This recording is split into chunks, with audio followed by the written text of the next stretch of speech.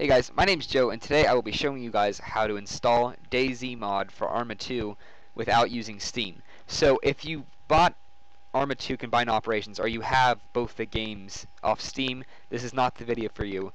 Uh, right now a box should appear and click on that. That'll take you to a video where you can learn how to do it if you have Steam. But this one's for like the people who bought it on Amazon or in other retail stores, okay? So what you guys want to do is you want to go to Firefox or whatever your preferred internet browser is. I hope it's on Internet Explorer and you want to go to dayzmod.com.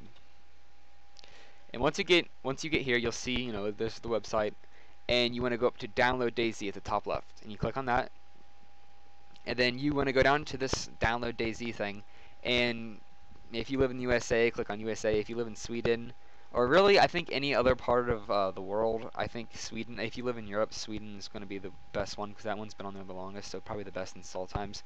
So you want to click on USA, and then you're going to come up with this. And then probably they update update constantly, so uh, this might be different for you.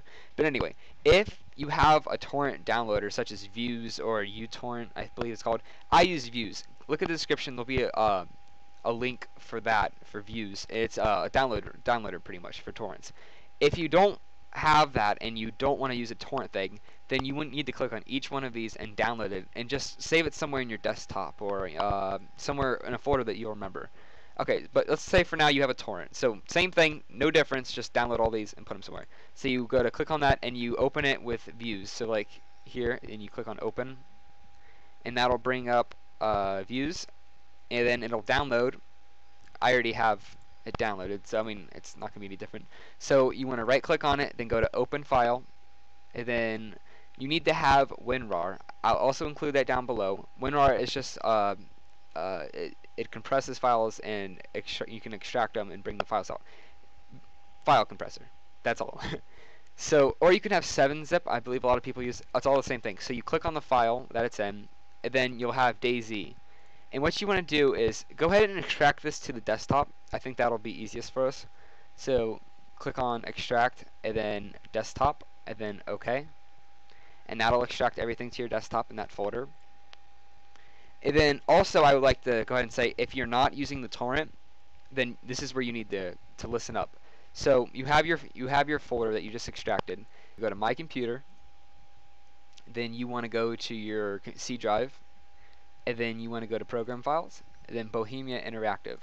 That's people who make Arma. And you click on Arma 2, and then what you're going to see is you're going to see all of this. This won't be there for you. But what you do is you take that folder we just compressed into the desktop, I mean extracted to the desktop, and you drag it in. And what that does, that'll put that in the Arma thing. That's all you have to do.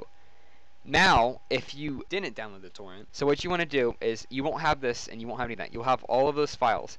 And what you want to do is you want to go into this folder and then create a new folder. So you're all done with that. So we have our new folder and we want to name it at DayZ. Okay, so it's not going to let me create another one. You know, I don't.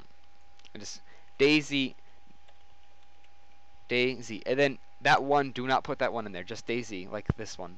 And then you want to go into here, and then you want to create a new folder and call it add-ons It has to be spelled like that.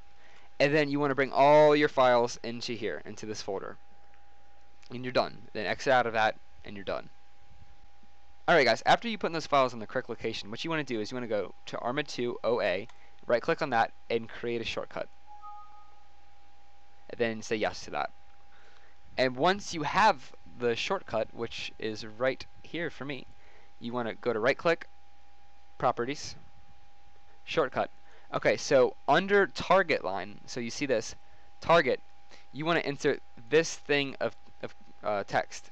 I'll have that in the description. You want to make sure this space is here. I cannot stress that enough. It won't work. So like, I'll actually try it real quick, show you guys what the message So if this comes up, that means you don't have a space. So you want to make sure you have a space, and then you're good. So check the line of uh, the description, wherever it is, and put that in there. And then double click on it, and you're done.